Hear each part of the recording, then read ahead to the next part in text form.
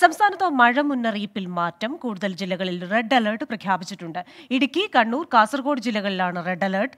പതിനൊന്ന് ജില്ലകളിൽ ഓറഞ്ച് അലർട്ടാണ് സംസ്ഥാനത്ത് ഇന്ന് അതിതീവ്ര മഴ തുടരാൻ സാധ്യതയുണ്ടെന്ന് കാലാവസ്ഥാ നിരീക്ഷണ കേന്ദ്രം അറിയിച്ചിട്ടുണ്ട്. വിശദാംശങ്ങളുമായി അലക്സ് റാം മുഹമ്മദ് ചേരുകയാണ് തിരുവനന്തപുരത്ത് നിന്ന്. അലക്സ് കാലാവസ്ഥാ മുന്നറിയിപ്പിൽ മാറ്റമുണ്ടായിട്ടുണ്ട്.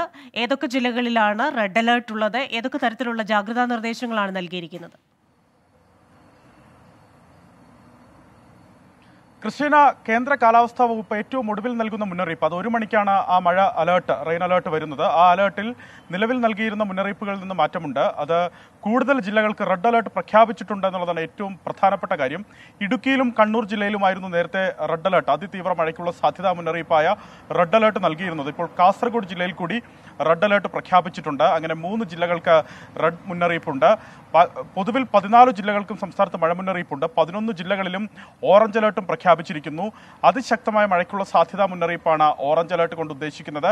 അതുപോലെ തന്നെ അടുത്ത രണ്ട് ദിവസം കൂടി സംസ്ഥാനത്ത് അതിശക്തമായ മഴ തുടരും എന്നും കേന്ദ്ര കാലാവസ്ഥാ വകുപ്പ് അറിയിക്കുന്നുണ്ട്.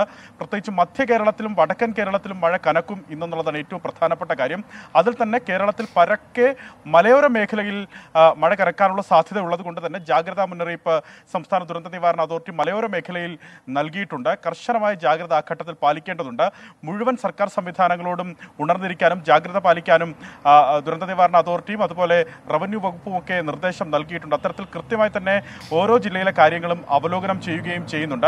ഇതിൽ ഏറ്റവും പ്രധാനപ്പെട്ട കാര്യം തീരവുമായി ബന്ധപ്പെട്ടാണ്. കേരള കർണാടക ലക്ഷദ്വീപ് തീരങ്ങളിൽ മത്സ്യബന്ധനത്തിന് ഏർപ്പെടുത്തിയ വിലക്ക് തുടരുന്നു. കാരണം ഈ അറബിക്കടലിൽ ശക്തമായ കാറ്റ് മണിക്കൂറിൽ പരമാവധി നാൽപ്പതോ നാൽപ്പത്തിയഞ്ചോ അൻപത്തിയഞ്ചോ കിലോമീറ്റർ വരെ വേഗതയിൽ വീശിയടിച്ചേക്കാവുന്ന കാറ്റിന് സാധ്യതയുണ്ട്. അതുപോലെ കടൽ പ്രക്ഷുബ്ധമാകാനും മോശം കാലാവസ്ഥയ്ക്കും സാധ്യതയുണ്ട്. അതിനാൽ മത്സ്യത്തൊഴിലാളികൾ ജാഗ്രത പാലിക്കണം. തീരമേഖലയിലും താമസിക്കുന്നവരും ജാഗ്രത പാലിക്കണം. കാരണം കേരള തീരത്ത് ഉയർന്ന തിരമാലയ്ക്ക് മൂന്ന് ദശാംശം ഏഴ് മീറ്റർ വരെ ഉയരത്തിൽ ഉയർന്ന തിരമാലയ്ക്ക് സാധ്യത നിലനിൽക്കുന്നുണ്ട്. കടലാക്രമണത്തിന് സാധ്യതയുണ്ട്. അതിനാൽ തീരദേശവാസികളും പ്രത്യേക ജാഗ്രത പാലിക്കണമെന്ന് സംസ്ഥാന ദുരന്ത നിവാരണ അതോറിറ്റിയും കേന്ദ്ര കാലാവസ്ഥാ വകുപ്പും അറിയിക്കുന്നുണ്ട്.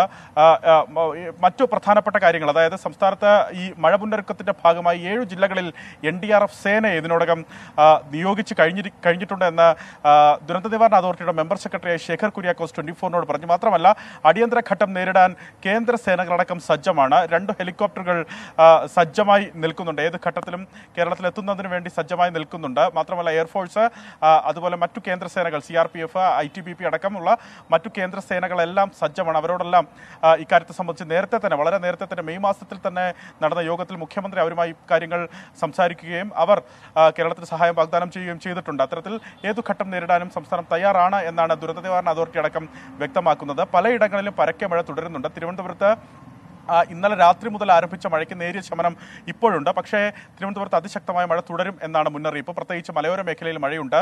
അതുകൊണ്ട് തന്നെ അണക്കെട്ടുകളിലേക്കുള്ള നീരൊഴുക്ക് കൂടി വർദ്ധിച്ചിട്ടുണ്ട്. തിരുവനന്തപുരം ജില്ലയിൽ അരുവിക്കര ഡാമടക്കം തുറന്നിട്ടുണ്ട്. ക്രിസ്റ്റീന. ശരി സംസ്ഥാനത്ത് മാറിയ മഴ മുന്നറിയിപ്പുകൾ. അതുമായി ബന്ധപ്പെട്ട വിശദാംശങ്ങൾ നൽകിയത് അലക്സ് റാം മുഹമ്മദാണ് തിരുവനന്തപുരത്ത് നിന്ന്.